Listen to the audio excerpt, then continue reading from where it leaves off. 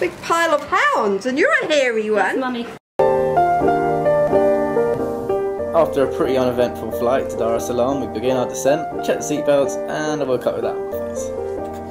Annoy mum for a bit, look out the window, oh that's pretty nice. Right, we've landed, make sure we haven't left any crap behind. Welcome to Tanzania. Getting off the plane, ooh, it's hot. Try and talk to the camera, but forget there's a jet engine going on in the background. Onto the bus. Cram ourselves through the door into the hottest airport ever, push through some people, ponder about life's many troubles. Quick scan of the old fingerprints, and now it's time to figure out how to get a visa. Get told to stand over there and wait for our names to be called. Did I mention it was boiling hot? Shadrach, Zerami, Molame, Mangechuki Malesa,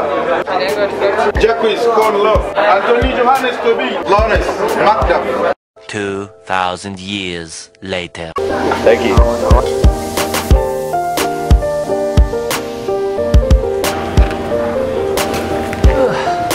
Too many clothes.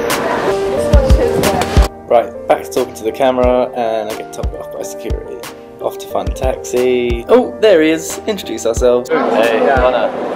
Bargain with the taxi driver. Bargain with the SIM card provider. Jump into the taxi and get stuck in Dar es Salaam traffic. Cue car journey montage.